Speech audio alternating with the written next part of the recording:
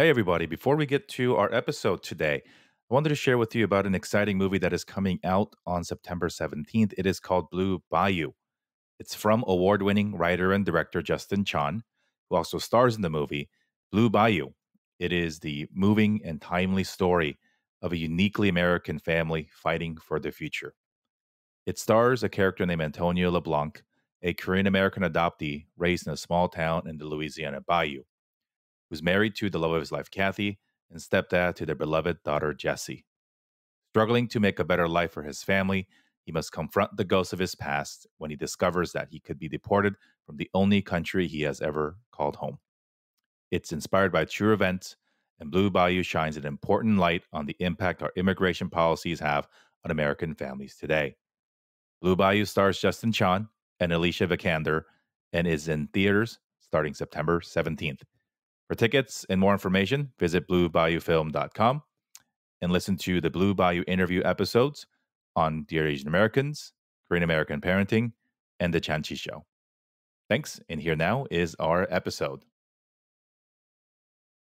Uh, I remember because of those arguments we had, like then the few nights that mom and dad would Yeah, go gosh, would here we try to go. go out for dinner, and then we would get into it over something. I remember being hit with the road one of those old fashioned rotary Nathan. one uh, of those one of those dial phones, and it's like you hit oh, your sister the with a rotary Yeah, phone? you like the we base are of not it? ageist on this show, guys. No, Doesn't it's matter not- what kind of phone it was. That's a heavy piece of tech. yeah. You're listening to The Janchi Show, hosted by three Korean American adoptees diving headfirst into what it means to be adopted, Korean American, and more. And now, here's your hosts, Nathan, Patrick, and KJ.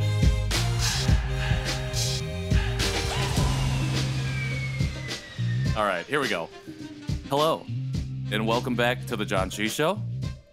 I am your host, Patrick Armstrong, and it is a wonderful September afternoon. And I'm joined here today by my favorite co-host, Nathan Nowack and KJ Relke. Gentlemen, how are you doing today? Doing well. We're here in Carrollton, Texas, where the temperature is currently 89 degrees. It is partly cloudy, and the high today is an expected 97, and the low is 68. So make sure that you wear your sunscreen. Back to you in the studio. Thank you so much, KJ. and we're going to go ahead and that. kick it over to Denver, Colorado for our correspondent, Nathan, in the field. Nathan, how's the weather out there? The weather is perfect, 75 degrees with partly cloudy skies. Uh, Wow. one I'm mile jelly. above sea level. We are doing okay and wearing our sunscreen. Thank you for that, KJ. That is a good reminder. That is our daily PSA for you all. Wear sunscreen. Yeah, protect your face Yeah. from the sun. I like that it was weath- one weather thing and then one factual thing about Denver. one mile above sea level. Hilarious. Hence the word mile high city. There you go. Okay, somebody grew up with an enc- encyclopedia. Did you know in the stadium there's actually a row of seats that is a different color, and that is actually one mile level elevation at the row of seats? in course. Yeah, there you go. Field. Another trivia fact by Nathan Nowack. And that has been trivia with Nathan Nowack of the Janchi Show. Such an excellent show. We're gonna go ahead Thanks and for it. listening. We'll. Um, we're gonna go ahead and kick it back to Nathan though, and he's going to explain to our new listeners what Janchi means. Dole John Cheese, where we took the word from. The John I don't Chi think is that's the. actually true. I don't, I don't know, know. if that Isn't is. it? We've said that a few you times. can say that. I say You that. That's that. where I Yeah, came no. up with it. I thought No, it's Dol Janchi, but I think that's just like saying day. That's like that's like saying like uh day. We took the word from birthday. I mean, you're like no, those are they are separate words that stand on their own. but Okay, I will- to be together. Okay. Granted, since we came up with that, I have heard the word Janchi used in other forms and words and sentences other than Dol Janchi. But at the time, that was the only way use, I guess, I knew of that word. But doesn't matter. The word itself means feast, festival, party. You guys can come up with however you want it to, to mean to you. But we are celebrating Yeah, our Korean mistranslate the word. yeah, I know. and that's what our show is about. No, uh, that's about discovery and maybe coming up with something incorrect and then correcting ourselves or discovering a new part of the culture that we didn't know was, uh, you know, different than we originally had thought. But the Janchi show is mostly just us discovering that we were wrong. yeah, especially with pro- the pronunciation of hanbok. Uh, I Which think I, I've actually you'll been hear- practicing it a lot since we got back. oh yeah, that's good. I That say comes it up so commonly, and No, you're actually. I, I guess said as it you're wrong so many times. So you're like, I will not mess this up. Actually, that makes sense because you probably were telling a lot of people what you did in LA, so you Mhm. would have to have had to have said Hanbok many times. Yes. So that makes sense. that is I I was good. like, otherwise, that really does not come up in in conversation often. it does not. It's okay. I, I've been using a few things that I learned from our our live show as well to What have you been using? Like the the uh, Janchi, meaning No, well, the- coming from yeah. Doljanchi. no, just like the food and things like that. Uh, you know, just talking about what we had and what we did. I mean, even the fact that you know when when we did uh, Norabang, that you know I was explaining that it's not karaoke, it's Norabang. So It's so hard to not eh, or to try and explain what norebang is and then not just go to like you just have to be like it's karaoke, It's karaoke, but yeah. Korean. I don't know. I, I know. it's just like I don't know. I agree. I know it's it's it's hard to explain it, but I mean, what do you say? Oh, you're singing in a room to, explain, but music and you're singing along. Uh, yeah, it's Here's my thing with it. It's like when I explain what it is, people will go, "Well, why don't you just call it Korean karaoke?" And it's like, but yeah. it's that's not. But It's I not. don't know actually why. KJ, do you know why? Like if that's just a word in Korean for singing while drunk in a group.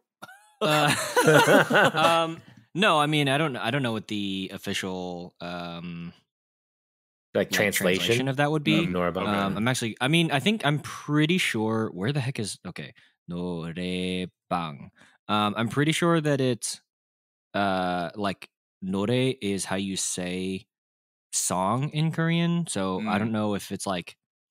Oh, maybe actually, I think um, there's a place here in Carrollton called Sing Box Karaoke. So I think actually it's like norebang is literally like a singing box. Ah, So I would Ah. say that I would say that the reason that you would say norebang over karaoke is um like when you say karaoke here in America, you like everybody gets a very particular image in their head about Right. what that looks like, right? That's often not what norebang actually is because norebang is a private room and like it just like is a different experience even though the thing that you're doing, which is singing publicly while probably drunk, um is like the shared thing, but like the the rest of the atmosphere is different. So it's like saying, "Oh, I'm going to eat Mexican food" versus "I'm going to eat Japanese food." Like you're technically still eating, but you wouldn't call a sushi place a Mexican food restaurant. You know. right. Okay, that Hmm. makes sense. So I think would- that's why you would say that. I was thinking it also has to do with the fact that the some of the songs are Korean songs, whereas if you went to you know karaoke, you probably wouldn't have a, a whole menu of songs in Korean that were like K-pop or things like that. So I mean, we sang like pretty much all English songs Oh, I at know. Notre Dame. So. but like, but my point is that there any is Korean the songs? option to sing the Korean songs, whereas if you went to karaoke, you would not have as much of an option for that. sure, yeah. So Probably Japanese songs. probably Japanese songs, exactly. That's- Karaoke is Japanese, right? Like Yeah. traditionally. Yes. Okay. Yeah. Gotcha. Oh Yeah. yeah, one of my Japanese friends in high school, he was like, "Oh, you mean karaoke?" I was like, "Yeah, dang it, sorry, man, sorry for just Karaoke, butcherizing, yes. Dang it. butcherizing, We can actually butchering pronounce that your that Straight up American westernized it hard. Yeah. How do you how did you pronounce it? Sorry. Karaoke. Karaoke. Karaoke. Yeah. All right. Well, I'm gonna give up on that So, real quick. Also, he had like the most the most fun Japanese name because it rhymed and like was the same syllables, and I was like, "This is you have a very fun name." That's nice. So I'm not going to say it on air for his anonymity. you don't want to dox him. We don't No. do that here on the show. It's fine. No, we, we ain't about that. Just Unless our- we are. just ourselves. Just ourselves. um, well, all of that talk aside, we have a really, really great interview uh, coming up here in just a second. Uh, Amy Nowack Sherman is our Palladino. guest today. Okay. Um, Nathan's sister. Nathan, do you want to talk a little bit about what? Give the- give the guests a little bit of a hint of what we're gonna be. They're gonna be hearing. Uh, disclaimer: Anything that my sister has said about me may Is or may not probably be true. true. Okay. It's 98% true. no, it was it was really nice. This was actually not only um, you know the second uh, family member that we have now had on the show um, after Patrick's sister Rebecca, but it was the first time we had done a live recording because my sister was visiting, um, and so we actually did it in person. So I really liked that um, ability to interview her in person and look at her and you know laugh together. So that was really fun. Uh, but yeah, no, it was You're a great that our interview. laughter over Zoom is less than the laughter that you shared with your sister? How dare you? I think Wow. it's the timing more I'm never so. gonna laugh again. Not even I'm on Zoom, but gonna just in my, laugh la- in again. my whole life. I'm Yeah. just done laughing. You've ruined laughter for Patrick. I'm sorry. but uh, yeah, so it was really good. Uh, you know, she spoke about a lot of uh, things that actually I had not thought about and um, things that we hadn't talked about. So it was good to to get those uh, that dialogue going. So um, yeah, I really appreciated her being here and being on the show. Yeah, absolutely. And for those of you who are listening who are like, hey, when is, we know that you did this whole thing in LA. When do we get to hear about it or see it or Oh, yeah. anything beyond just your IG stories? That will be coming out in two weeks, give or take some days. Um, so, yeah, we have another episode planned for next week. And then the week after that, we will drop some content recorded live in LA. Yeah, some and good thank stuff you coming out. again to everybody who came out. That was that was amazing. That was a good time. We'll talk more about it soon. Yeah, we'll only thank you once here, and that's it. That's yeah, all the that's thanks it. you That's will all get. you're. But thank you. um, we got some good episodes coming out. Uh, Oh, yeah. up the pipeline, up the pipeline, coming down the pipeline, Down the down pipeline. the pipeline. Not up Coming the on pipeline. We're not down. clogging it up. We're we're free flowing. It's going up and down. We are know. flowing free. And speaking of flowing free, we're going to flow Okay. freely into the interview with Amy Nowack Excelente. Sherman. Here it is, our interview with the person I just said. Escucha Ooh.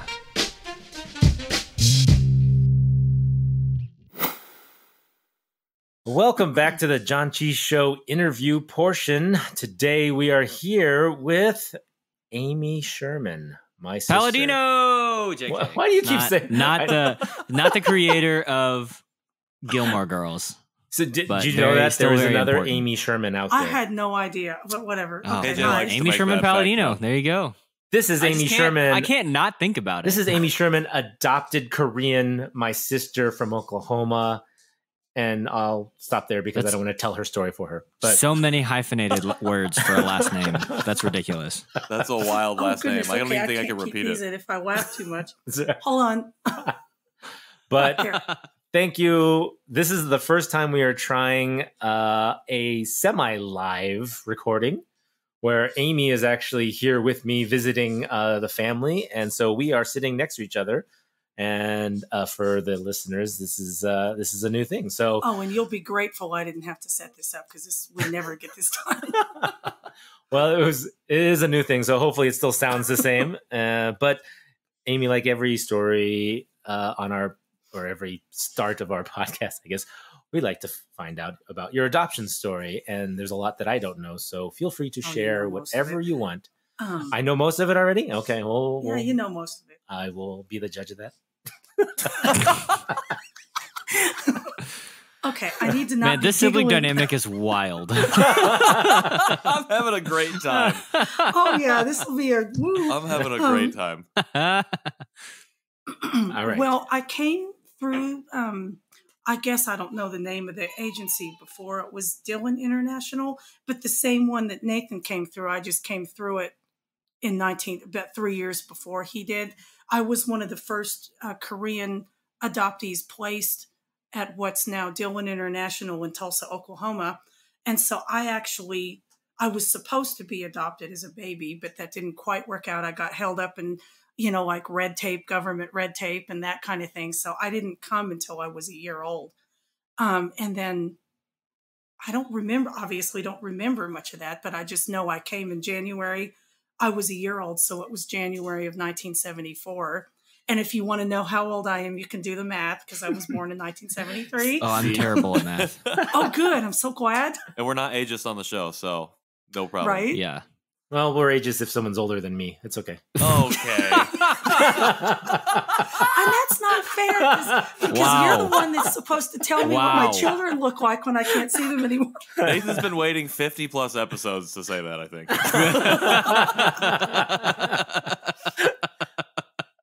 and so anyway i Oh mean my i was gosh. brought i was brought over and adopted you know by you know obviously our parents gerhard and caroline noack and i had a wonderful wonderful upbringing you know with them and and then it was great when nathan came along you know because i had I had somebody to play with, so it was really cool. Until he started taking my toys, but that's a story for another episode.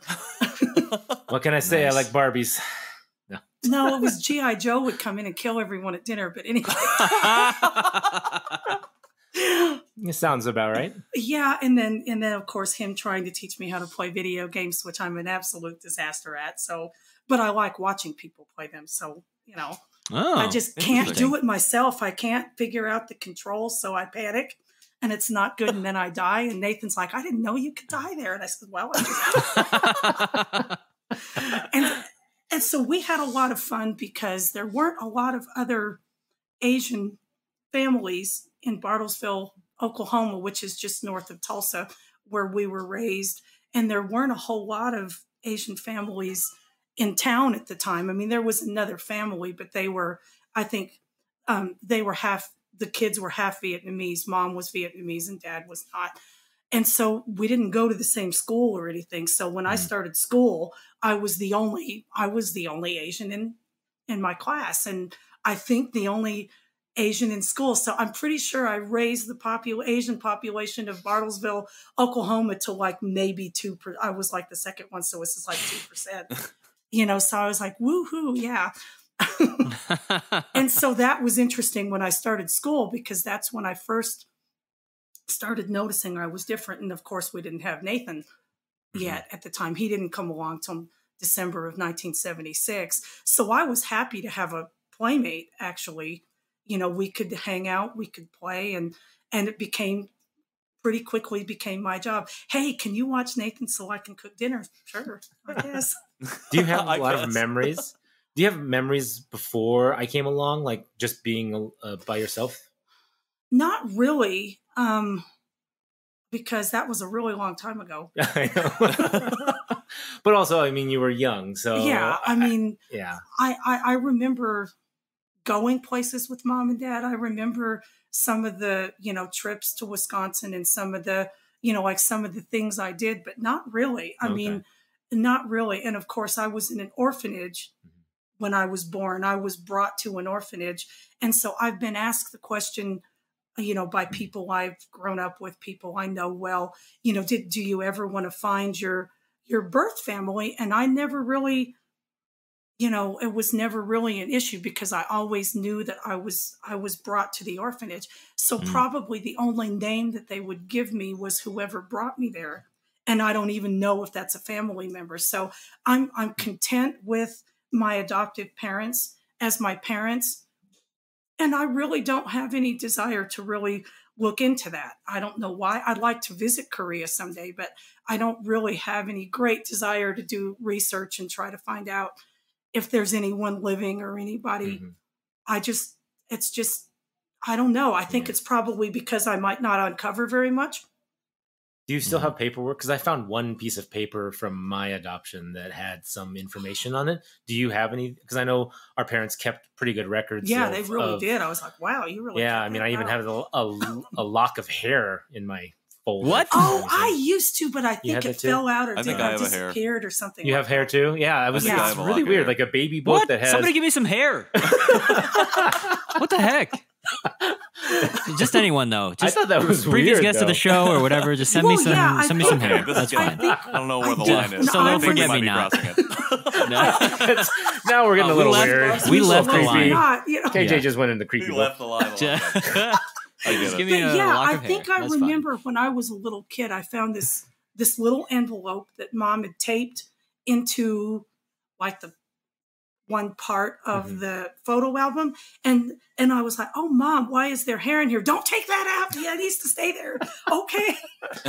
I took it out. So Yeah, and I'm sure I did too Yeah. or Like, what's in Nathan here? and I played with it and probably glued it to some piece of artwork we were doing. I don't know. I don't know. Probably burned Um. Your Uh, but yeah, Oh, macaroni we didn't burn it. I don't know because I don't remember ever doing that. but- magnifying glass. I don't know. Amy- so uh, I did see his less stuff. But Amy, I have a question. Go ahead. Um, we had a guest. We had a guest on Jennifer Patel, and she was adopted through Dillon. And she said that when she was adopted, it was right after I think Nathan had been adopted. Her parents came and visited your family uh, before they adopted her. Do you remember that?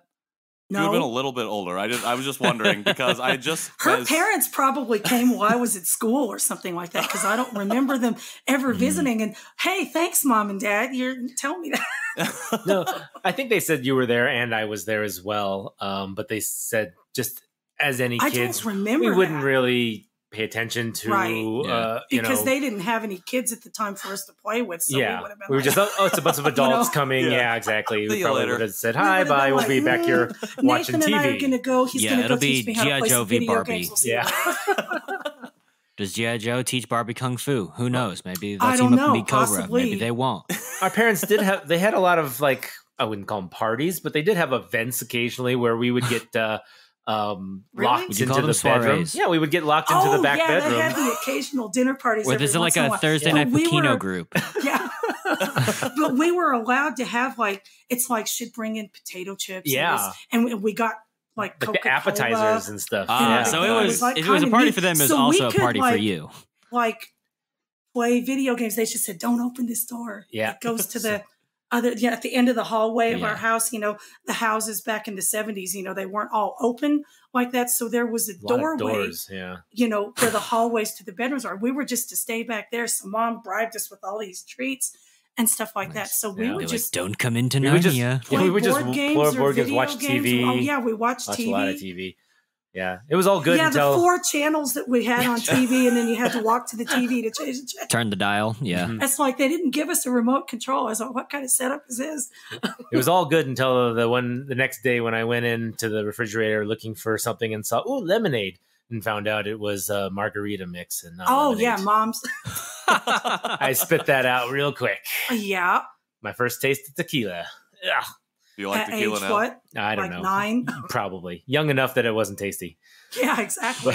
But, um, but uh, yeah, I'm just I'm curious on other memories that you had from um, child that like the families like you're saying. I was the same way. We didn't have many Asian. Um, there were more by the time you started school, so you didn't. maybe you didn't one or face- two. Yeah, but was you only didn't like face four, as much of the everybody looking at you like you were different when you first started school, and that's when I really started noticing that's like, okay, Mhm. this is kind of different. At what age do you think you started noticing more of that? Just when like I was in kindergarten. kindergarten, Oh, when. I was in preschool, I didn't notice so much because there was there was one little girl that was I think she might have been Indian, probably from Phillips Petroleum Company. Okay. And then it's like she was in preschool, and then maybe they moved and she was never there again. It's like that's not fair. You moved, you know. My backup. Thanks a lot for staying, you know. Right. Yeah. But no, seriously, I'm to started noticing that in kindergarten because I got questions. I, you know, like you could just tell by the way the other kids would kind of look at you first, Yeah. you know, Yeah. maybe, but nothing was ever said. And the kindergarten teacher was great. Mhm. I didn't really start noticing anything till first grade because my first grade experience wasn't the greatest because the teacher didn't really care for, I guess, Koreans because I think her brother had fought, uh, I guess, Oh. maybe in the Korean War or something like that. I she was ancient, Hmm. Hmm. you know, at that. I mean, she was already old. We're not just like, ageist on the "Oh, show, Amy. Come on. Come on, Amy. she was old.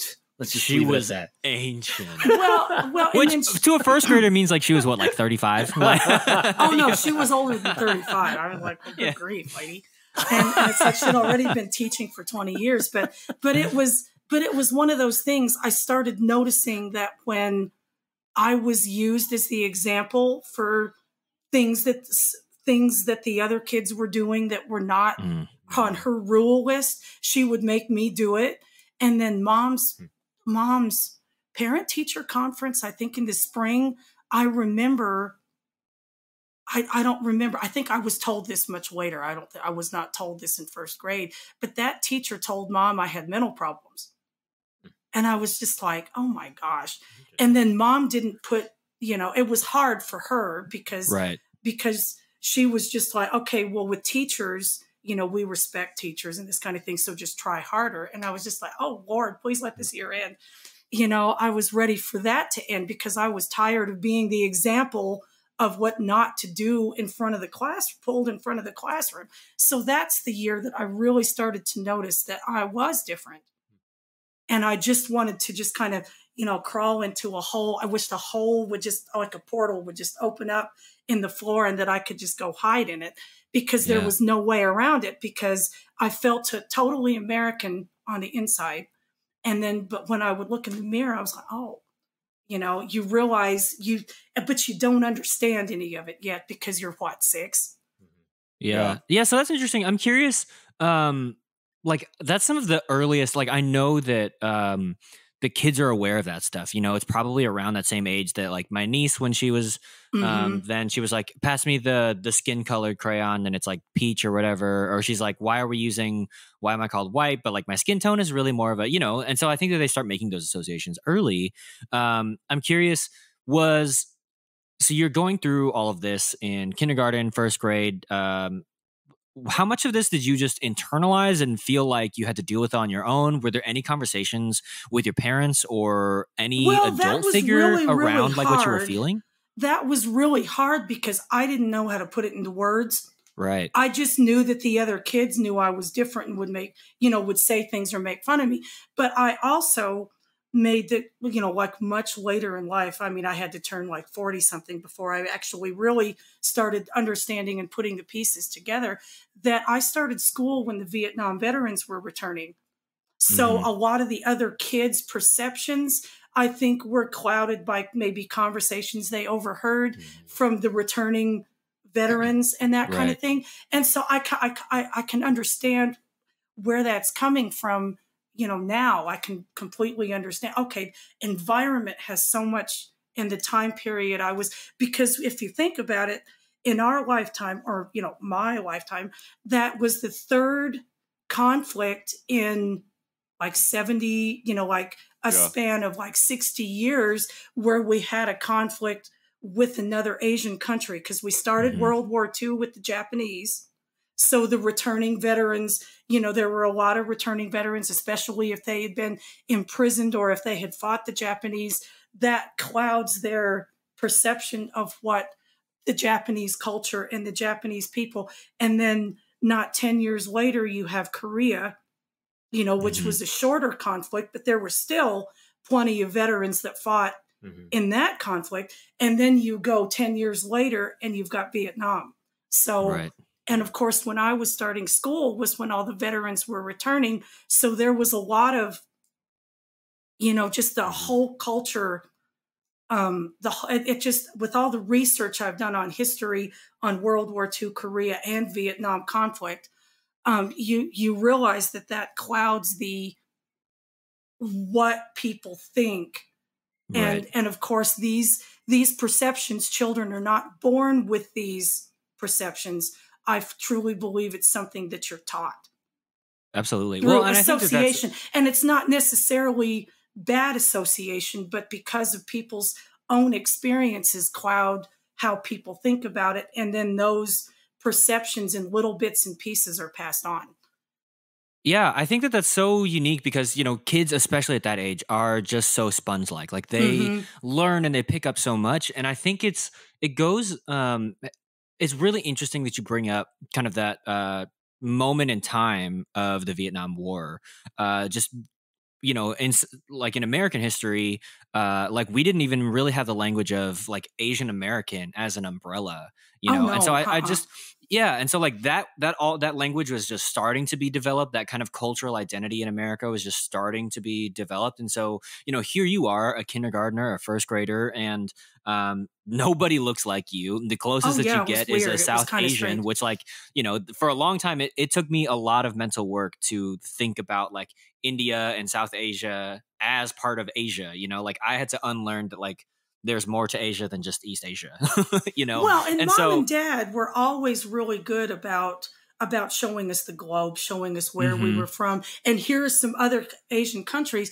Because trying to explain this as a seven year old, you know, I'm not Chinese, guys. You know, it's like Right, everybody thought, yeah. oh, well, you're Chinese, and I'm like, no, I'm Mhm. actually not. There's other places besides China in Asia because I can tell you because of my parents' globe or my parents' map because they always showed us where we were from in relation, you know, to where we were in Oklahoma, so we could get a visual for how far we how far we came. yeah Yeah. And then the other Asian Asian countries, but but it's and, and so I was just like, no, dude, A- Asia's a kind of a bigger place than just you know I, I'm from big. over here. If you look at a map, not yeah. I'm not from China. China is not the the everything, and it's just. And then I I was always interested in the um like encyclopedias from a young age and everything. Like I said, I was in my profile like paperwork. I'm a big nerd, so I was always really interested. I think I read I Much still, bigger than me. Yeah, no, just in different ways. No, yes, that's a good point. No, I try to, really I, you know. I say the same thing to my wife. She's like, "Oh my gosh, you're such a nerd." I'm like, "Really? Talk to me about fitness and macros, and we'll see Oh who's my a bigger gosh. nerd." yeah, yeah. No, we we that is something that both of us have uh, different nerdinesses in for sure. Uh, if you haven't already can tell, out uh, the the level of history that Amy knows is much greater than mine. And that was always a big subject for me. Yeah. So Mhm. a lot of my history readings and a lot of my interest in other cultures was was I think part of my early journey as a kid. I mean, it's a really unusual thing for a kid, right? To be here, let's read the encyclopedia and let's read a little bit yeah, about this. Encyclopedia Britannica. Yeah, which Uh, mom for our younger listeners, an encyclopedia is like the internet, but printed out into volumes and volumes of books. Yeah, I yeah, I was gonna still say, have my my World Book Encyclopedia set, and and Clark and Clark's like, "Do we really need to haul that around?" I'm like, "Yes, we need to haul that around." This is like the, the my whole life's research and anything I wanted to learn was in these books, and I'm just like, I still have a shelf in the bookcase where all 26 of those fit, and I think I got those at age 13. So when Mom couldn't find me, she could just find me in my room reading my encyclopedias. yeah, they were in your room. I do remember. yeah, I had them in my room because I That's where I would go read them. for- yeah, yeah. Whenever Nathan read them, I was like, "Come on in, and you can borrow. Which volume do you need? What subject are you looking for?" But I always loved to read, and I and then once I got into high school, I really got an interest in military history, Right.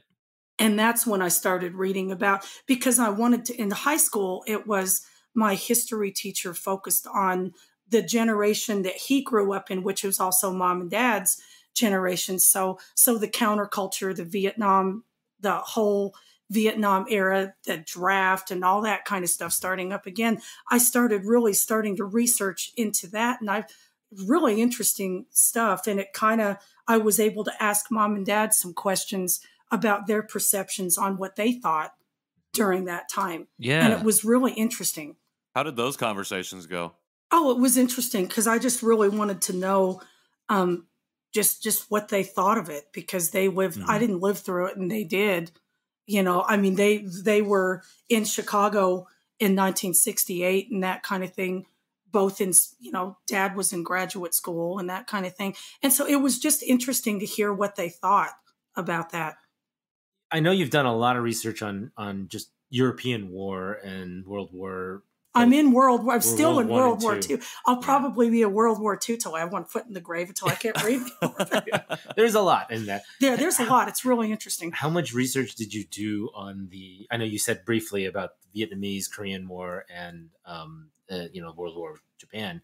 Did you do a lot of research on Korean War? Because I remember doing a book report on the Korean War. Did you? I've watched a couple of documentaries on TV, but really the thing that surprised me um, with the research on the Korean War is really how little there really is. I mean, there's a couple of books, Mhm. and I've seen a couple of documentaries on it, but nothing like you see with the larger conflicts because that one Right. didn't last as long as the others. But um, but what got me into the researching the Vietnam War was just all the protests with it, all the Mhm. you know, half the people were for it, half the people were against it, and half the people liked the government, half the people hated the government at the time. And so it was that controversy that got me wanting to, okay, what is it about this? And then I read a book about a nurse who served in Vietnam for one year. Um, and she was the one who was really instrumental in getting the Women's Vietnam Memorial Mhm. built in Washington, D.C. I read her story, and then that prompted me to read a whole bunch of others. So I really started that one with reading about the women who served, Mhm. and then the women who served in World War II at and World War One at the time. So it's just kind of all kind of Mhm. melded into one thing. But the first book novel that I read that was historical fiction about World War II was Herman Wouk's War, um, The Winds of War, and War and Remembrance. And if you want to know anything about all of World War II and the build up to it and and and the invasion of Poland in 1939, it's just read those two books or watch that miniseries because it is really it's really in depth that they had to divide it into two novels but you learn about all the military units and all the it, it, it was that was an eye-opener for me So I'm just curious. Um, well, I can hear my. Uh, I turned on my. Okay.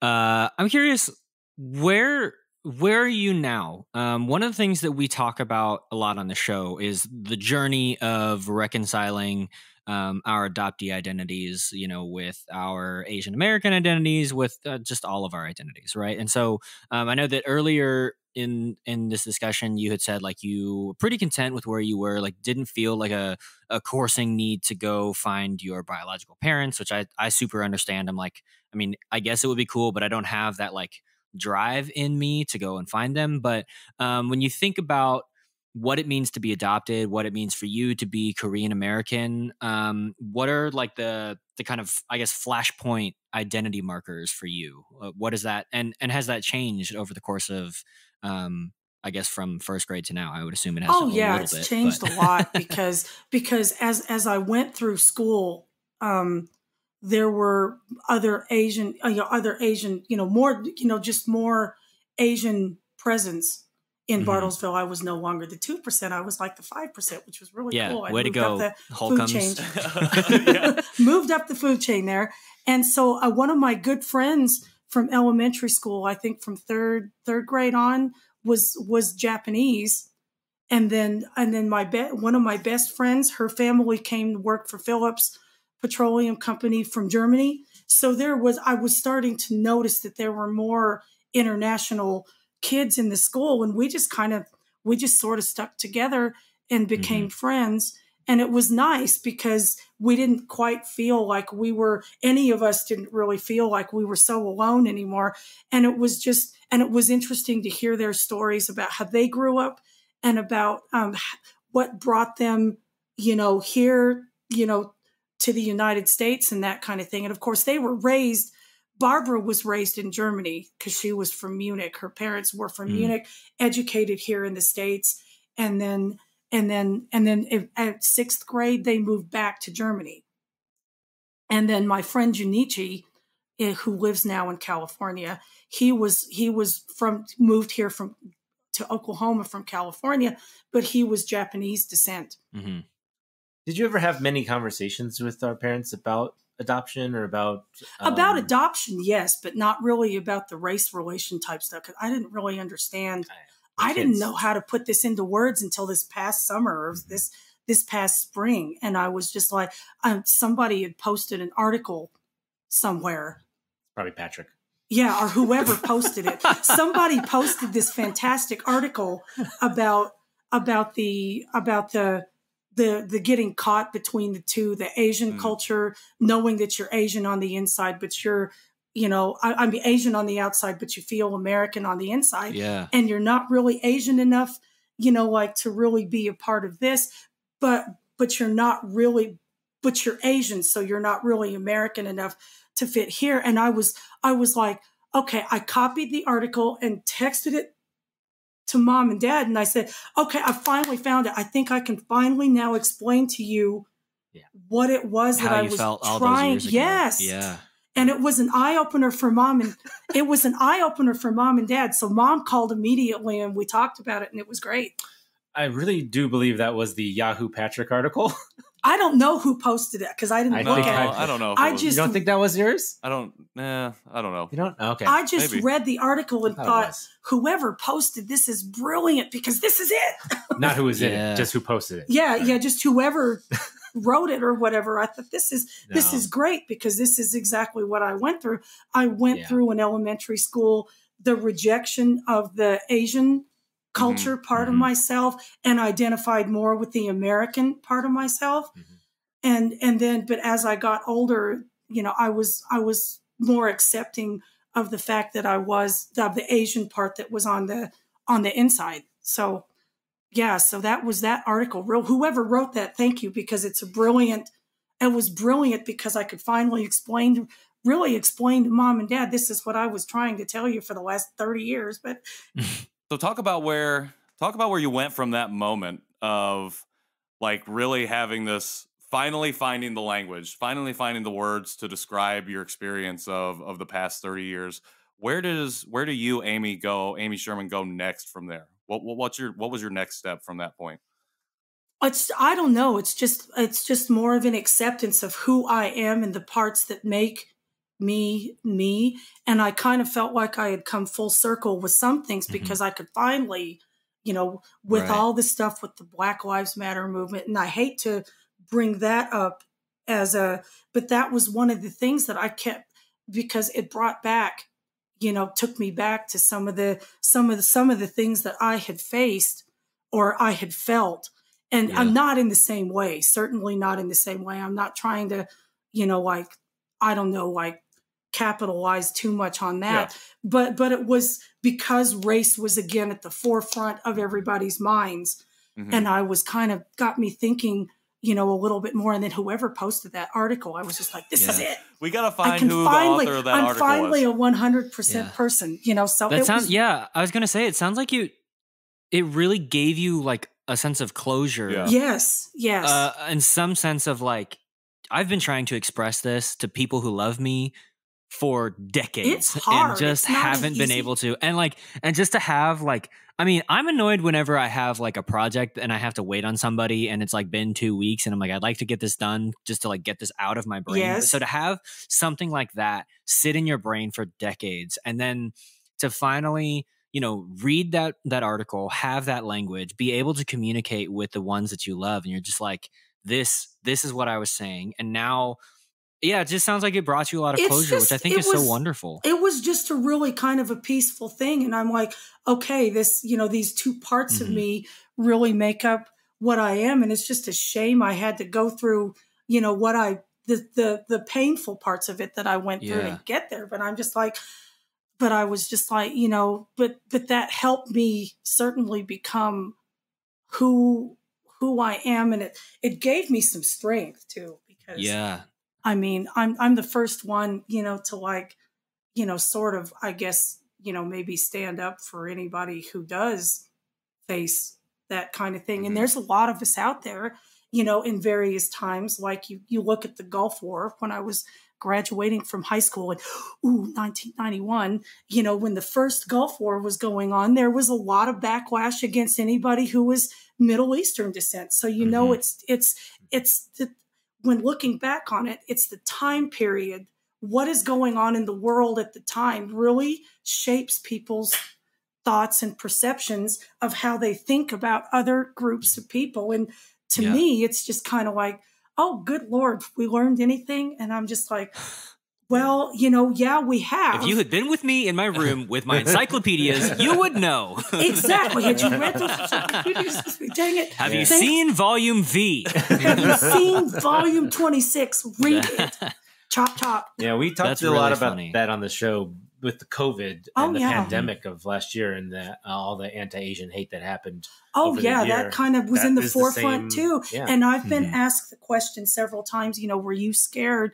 And I was like, we haven't seen much of that because Oklahoma is not on a coast. Mhm. It's not an entry point, you know, into the country. You got to go someplace else if you want to go to Oklahoma first. So that's Clark and I have always said, well, that's why nobody visits us. They got to go somewhere else and get on another plane to come see us. but it's like, yeah, you know, our family comes to visit, but nobody else really, because they Oh, got to go, you know, planes, trains, and automobiles. You got to do all of it just to get to where we're at. But, but but there was a sense of security not being on the coast because a lot of the things that were happening were happening in like New York City or they were happening on you know Los Angeles or San Francisco, which which isn't great, you know, for Right. anybody that lives there. But at the same time, being asked that question, I didn't feel unsafe at any point.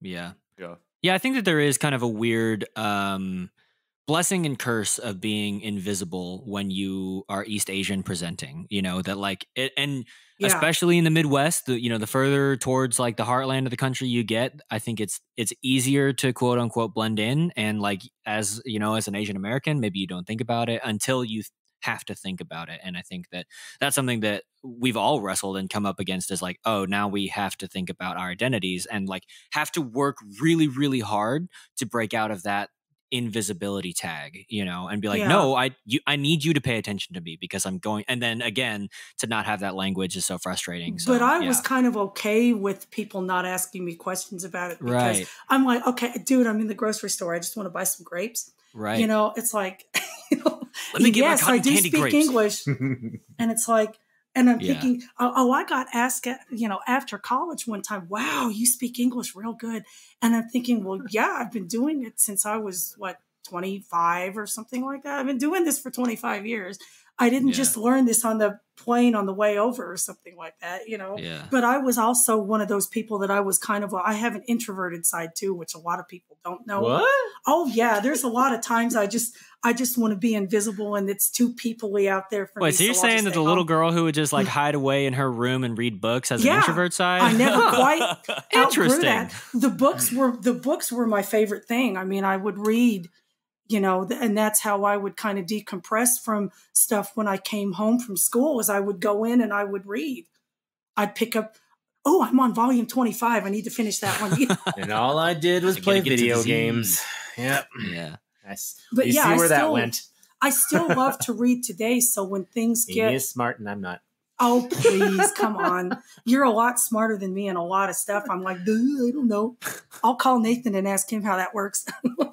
But it's just one of those things where I still, you know, when I feel stressed or when I feel like, you know, okay, there's too much going on, I'll just pick up a, I'll, well, now it's my iPhone. I'll just pick up my iPhone and read, and I'll just read Yeah. you know and it's just and that kind of brings me back you know So down So as far as your adoption story, or just even meeting my uh, biological family, which I, I remember being very oh that was for, fantastic for for both, yeah, both of us. But that was one of the best experiences of my life because i was i i don't know if i had a family that i could reconnect with so i could live that through him and it was Mhm. wonderful meeting your your brother and knowing that you had found your family that was incredible did any of that spawn an additional interest to do more research about your adoption? Or no because i could just read your stuff she was like, no, I, I had my cake I was and ate good. it too. okay. Yeah. Were you, Like, no, Amy? were you the one that pointed out that Nathan and his brother walk the same? no but That was Al- but I- Allison. I've But- heard he has a funny walk, so I just need to. I in my head he walks like this. No. It's much more normal than that. He's like a more normal, a more normal person. Good. On But when. I actually met his brother and his wife when they came for Kelvin's first Dolce, his Yeah. first birthday party, I could see that they really looked alike. I was like, Mm. there is someone out there that looks like Nathan. Mm. I'm like, this is what he's going to look like in 20 years. Okay. You know? Taking mental notes. No, Here but it go. was a- I, know. I, it I did the same. I- Honestly. Yeah, but- Viral but it game. was a- yeah.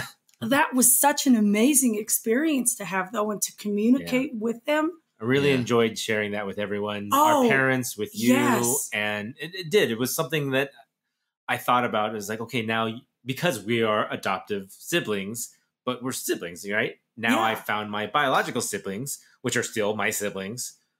We now it's like the, i the now family have six expanded. more siblings Yeah, like i the whole kind family. of feel not You got that siblings on siblings on siblings. Exactly, Yeah, we got siblings wonderful. coming out everywhere, but it was wonderful You and get a mom and dad You felt the same sibling. way too they felt like their family had expanded some too Yeah. But one of the that's things really that for me that I was, I think, interested is I felt more interested in finding more information about my Korean heritage and my um, my biological family story. But one of the things was I wanted to know more about your story and and things like that. So that's one of the questions I had was at the beginning of this uh, interview was like, do you have any more paperwork? Are there things that I didn't know about your adoption that I, that uh, maybe um, you know something that I just had forgotten about? Or, but you're saying that there's, there's no not really because there was so paper. little information you know to Mm. really go on um but it was but but I, and and you exploring the korean heritage and the korean side of yourself you now have these six siblings Mhm. that can help teach you what it's all about, even if you don't speak the same language. I don't really have anybody that I can identify with to really show me, you know, who really has lived it, grown up in it, and who really knows a lot about the Korean heritage. So I just Well, you have my six siblings. though, yeah, I know. but I can't, you know, I, I guess I could type to them and say, Is there any this?" additional things that you want to do with ado- uh, adoption or about just in general Korean history, heritage? I would like to travel to Korea someday. I just need the time and the cash to be able to get there. I need the time off work to be able to actually go and give it a proper visit. I don't want to Yeah. just go for four day, fly over there for a four day weekend and then come home and think, Yeah. oh, okay. And then, but um, What would you like to do there? I Would would just like to. I'd, I'd like to travel. I'd like to travel around and see the different regions Mhm.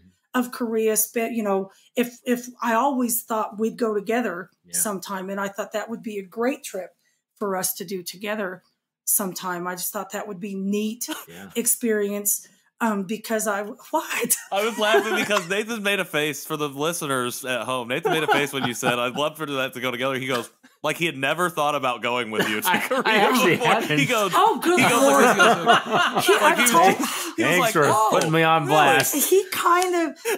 I've mentioned Go this to before. travel with your sister, dude. I've mentioned this before. It's probably just been a year or two, and a lot's so happened in a year. That's true. I- That's true. No, I just I thought I, hate to- wasn't Nathan's meaning over to here like, "That's a just- it made novel idea. No, you're fine. I just thought that was hilarious. I, He just goes- I hadn't actually. I, He goes, I, like, was- and I was like, thinking more along the lines of this once. I hadn't. I was thinking more along the lines of my family and taking like my my wife and my kids and stuff. That was like the and one we thing can that I thought do about. that. We can take We can as do it far as I can do. Totally. we- as far as I'm Now that you concerned, mention it, we can totally do that together. Yeah, we just have to wait till all the kids are old enough to appreciate it. But yes, we can do this. Oh, Certainly do a second No. trip. Mental Uh, yes, Amy, you're invited. Okay. Well, yeah, I hope. That's funny. but I I will also thought, be there. I'm uninvited, Yes, but um, yes, I you- will also Yeah, be I'll there. yes, you. I'll just I'll just show up. and Patrick. You guys your- can yeah. just show up, Like, and we can all make it a big that, family that guy looks together. familiar. Yeah. We do a podcast last together. last question. Unless you guys have another question, going forward. Can you sit down? I only know you as sitting down. I just need to just double check. I'm not very familiar with your Uh, legs. All right. but- Yep. That's him. Okay. Uh, last question. Uh, with uh, being raised in Oklahoma yourself and myself as well, uh, now raising your daughter in Oklahoma, uh, my niece, are there things that you have thought about uh, on the ways you were raised there that you would like to do for Lori as well? My main thing is just, you know, is just, I guess, being there for her if she experiences anything like I've experienced, and thank the Lord she hasn't, you know. So because because you know her, her mom is is Korean, so that automatically, you know, it automatically eliminates some of the questions and that kind of thing.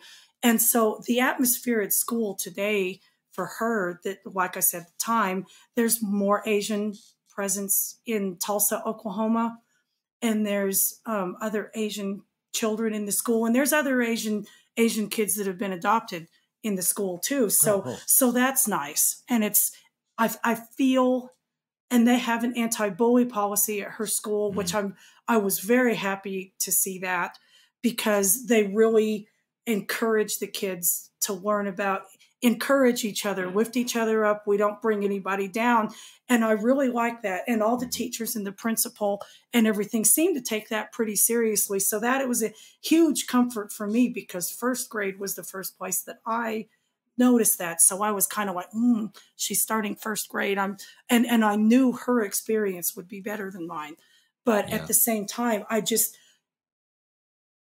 i just don't want her obviously don't want her to have to go through any of that and so far she hasn't so Yeah.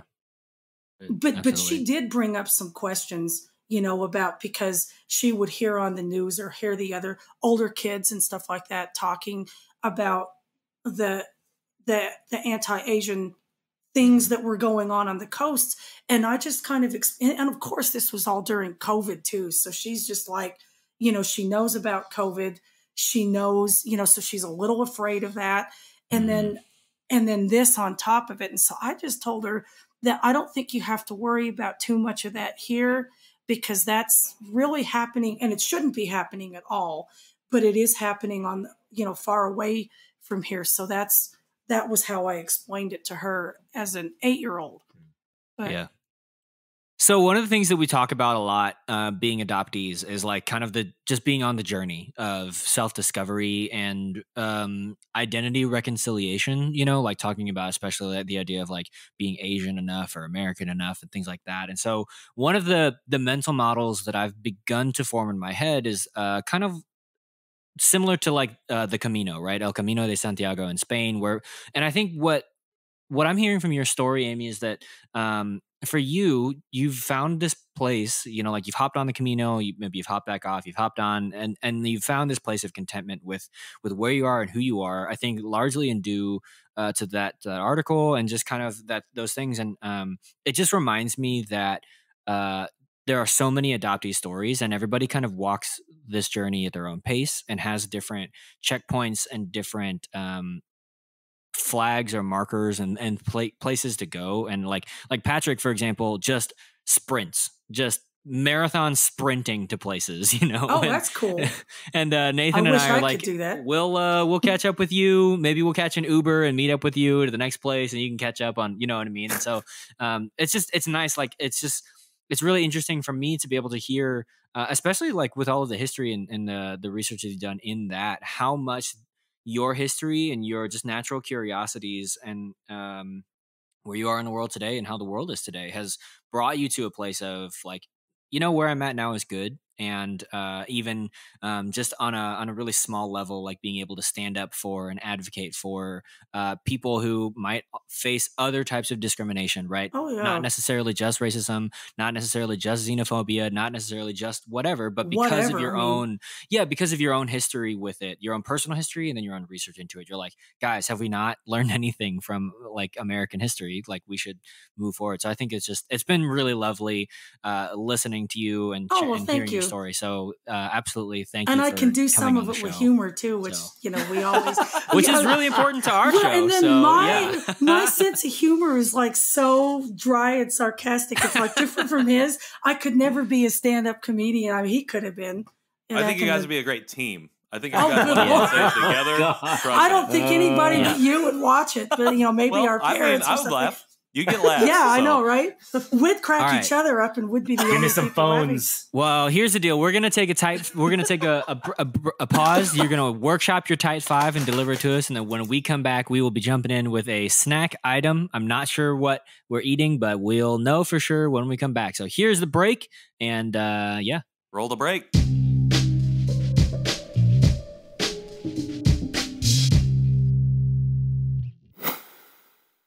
we're good. So we are back with Amy Sherman. We are back for our food portion. That was a great interview, but today I really wanted to give Amy something special to eat. Oh, good lord! So we are eating worms. Oh, good grief! What?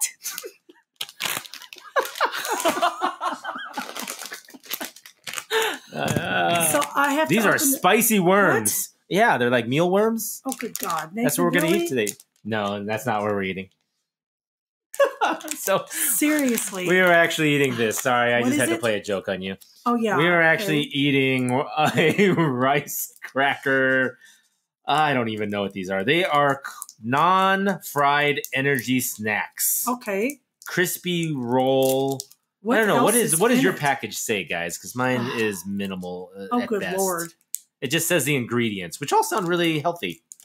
So the outer outer thing says crispy roll, spelt with it two eyes, not Yes. uh, grain and milk flavor, non-fried energy snack. Uh, yeah, and then it's just got some listings. It's lacto vegetarian. That's what food. I- Lacto vegetarian food. Yeah. Oh, it's So that the means if you are to our lactose intolerant, or does that mean if you do take lactose? Like, I think I if you think are lactose intolerant, eat if you are, you're a vegetarian. Yeah. Yeah. I mean, Okay. the so, first ingredient is brown rice. No, Okay. it's What? not. There's whole milk listed in the ingredients. So Oh, there is. don't, if you're lactose intolerant, don't eat this. Okay, guess so. it does whole, But- whole milk powder, the fifth item. yes. But the, the sixth item, which is an Oh, interesting gosh, combination, is good. Soy smells like sauce. What? So it's got Soy whole milk powder, but then the next ingredient is soy sauce. So I'm a little confused Oh, by that one. Yeah, I'm really confused. Okay, it's got my- beans. It's got uh, buckwheat. It's got corn. This is an interesting cracker, and I remember seeing it, and it came in a package of I think twelve. Good lord. Okay, these Uh, came together in a box, right? Yeah. Okay. Right. Yeah. My favorite thing it says like, expiration printed on the package. I was like, so I have to go hunt for the date when this is expired. I was like, oh, it, the, it came in a bigger thing, so that that explains it.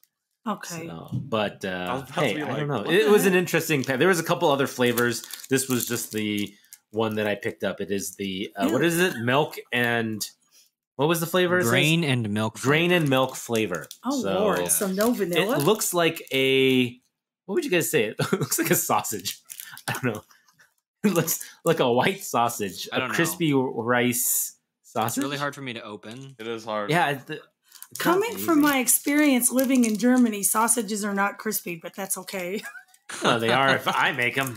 Oh, good grief. Ooh, Okay, so are we supposed? It supposed kind to of eat smells it? like milk. Yeah, it does. I'm just like, golly. maybe like a cheesy popcorn. I Kind of what I'm know, getting from? It kind of smells like popcorn on the outside. All right, here we go. It tastes like a giant Cheeto,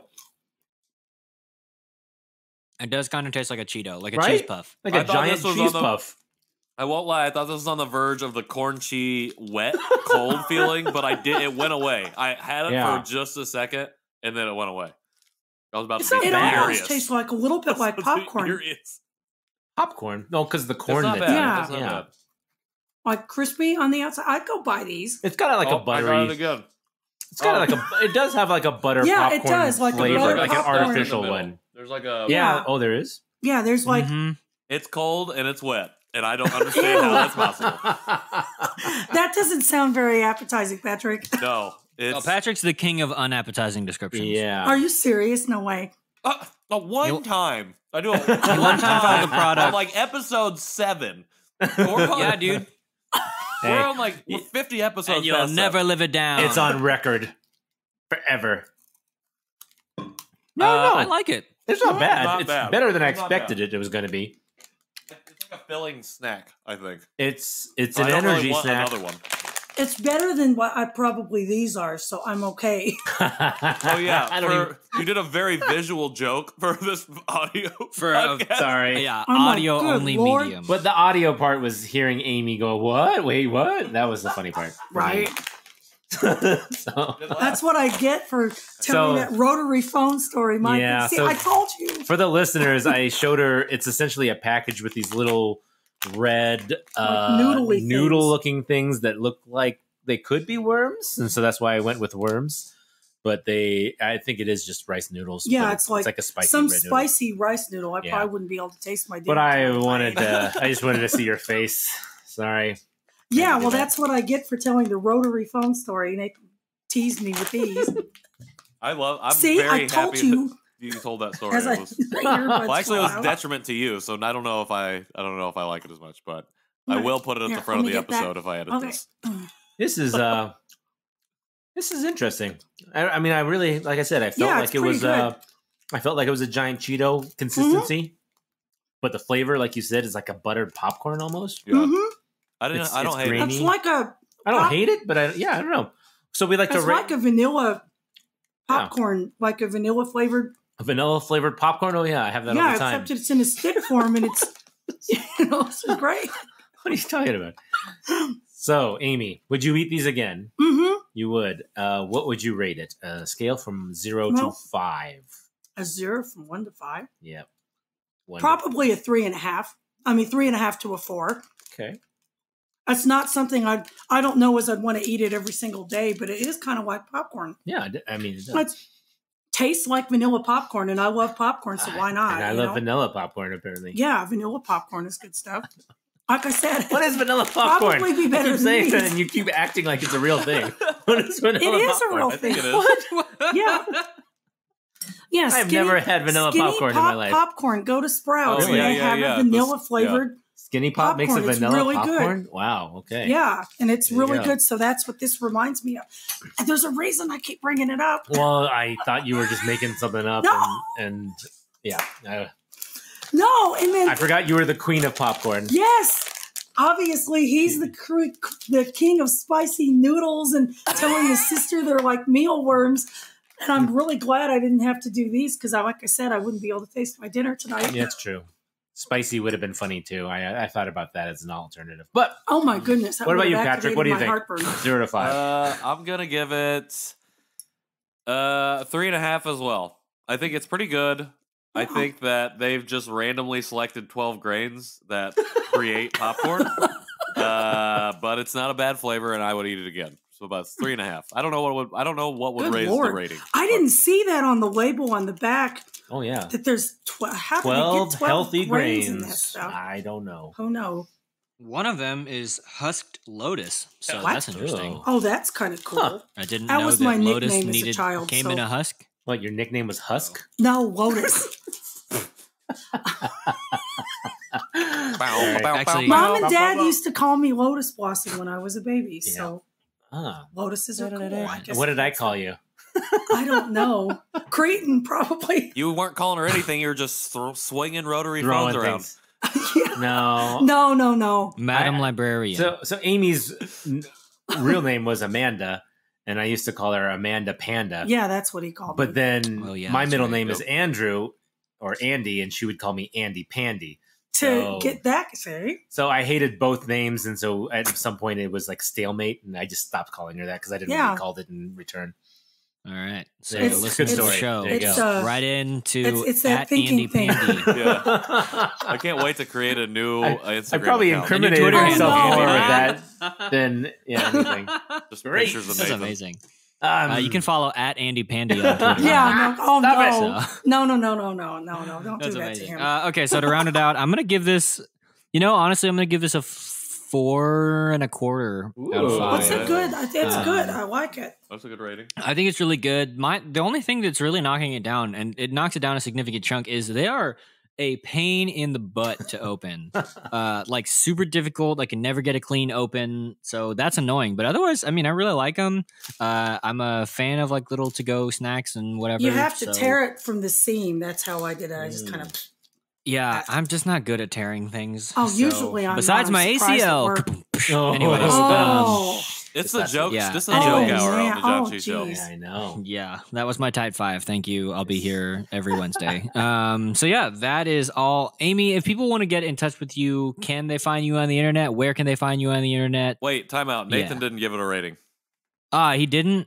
No. It's okay. I was just gonna. All right, never mind. No, I, I will give it a four. I'll make it quick. I agree. I'm in the middle between all of you guys. It's good. It's tasty. I would eat it again. It's healthy ish because all the grains. So yeah, four. sure. Four is a good one for me. I uh, yeah, I like it. There you go. Not much to it. Go ahead. Continue. KJ. These? All right. Probably zero. The, the spicy worms. I would have Yes, given a five. Zero. That would not have been a five. That's like a zero or a one for me. You never know. You might love. You might love them. I It might know. be. Well, She's like, absolutely not. So Amy, where can people find you? Or I, I know. If you want to be found, Yeah, if you want to be found. I don't think she wants to be found. well, I'm on Facebook, oh, but Oh, yeah. but I don't I don't know real this technological technologically challenged thing again comes into play because I don't really know how to change my setting to where people can find me. I've got it set to where people can't just randomly search for me. smart. So you can Smart. ask me and I'll share her information. you ask me, and I will not get permission to share her information. If Nathan, if, if somebody contacts him through the Janchi show, that's fine. There He you has go. my permission. ah, there we go. Perfect. Permission. So send your This lovely messages official- to the Janchi This Show. is his official forgiveness for th- hitting me with the rotary phone. Again with the rotary we phone. got to it. I like it. We okay, so if you want to get in that touch story. with, if you want to get in touch with Amy, you can find her at Andy Pandy on Twitter. yeah. Yes. Perfect. Oh no, you Uh, incriminated yourself. I'm regretting Like me telling Yes. that Thank story. you. oh, you're gonna love that nickname. Oh my god. Uh, thank you so much again for coming on the show. It Oh, was you're really, welcome. really fantastic. It was fantastic. So- Thank you for having me. You can if you guys want to find me and so I can contact you, uh, connect you with Amy, it Mm-hmm. would be uh, N Nowack on uh, Instagram and of course Nathan Nowack on Facebook. Yeah, I respond well to email, so I'll give I you can her do that. email. I don't have to call Nathan I'll to give figure her that out. Oh, KJ's chewing on some on some natural twelve, I think. So uh, you can find me But- at but let me- Oh, go ahead. Can I say just one Yeah. more thing really quick? Part of the reason I was able to come full circle with my with my identity and with all of this is is largely due to our parents because they encouraged conversation, encouraged questions, and so home was home in the middle of all this stuff was just kind of my was kind of my happy place with things. Yeah, shout out to the parents, mom and dad. Yeah, yay, mom and dad, thank you so I, much. I was gonna do that during the show and I forgot. well. Sorry, Mom. We were having such a good conversation. we were. It was fun. And thanks for the encyclopedias that got me the encyclopedias that got me through all my identity crisis. And I still Yeah. look at them. I still have them. So all you young people, go read books. yeah, no internet for you, even though technically the internet's more accurate. Nah, well, it's just updated. yeah. well, it's Exactly. definitely Just updated. updated since 1986 when the books were written. Um, Um, go ahead. Okay, you can find me at KJ Rocky wherever I want to be found on the internet. And you can find me at Patrick in the World on Instagram, and then I will also tell you the other places you can find me at Instagram. Um, Nice. You can send us Patrick, an where can people find the show? Yeah. You can find the show uh, at Janchi Show on all the social media platforms. You can send us an email to janchishow at justlikemedia.com. Um, we are going live in LA at the end of this month, or Oh, wait, we cool. may have already done it. We I have don't really actually already gone Uh, we live. may have Thank you for gone everyone We live. messed with the timeline. yeah, I know. I forgot about the timeline. So we had a really great live show in LA. Thank you to everybody who showed up. Um, if you want to really help us out and support us, you can go on to Apple Podcasts or wherever you get your podcasts, leave us a rating and a review. Really helps us not only get seen, but they're great messages, and maybe one day we'll read it aloud on the show. Um, cool. other than that, though, Amy, uh, again, thank you so much for joining us today. Uh, it was a really great interview. We got some really good laughs out of it. Uh, a new comedy duo is brewing oh, good lord! in God. in the in wherever Oklahoma and Denver are. I don't think they're Yeah, considered move the same over West. other Mountain- famous the comedy West. duos. There's a new kid on the, Mountain block. West. oh lord, that's the truth. I don't Um, know. Yeah, but with I mean, this is the end of the show. So we will be back next Wednesday with another episode. For until then, I don't know what I'm saying. Janchi, heyo. Chachi, hey, Bye.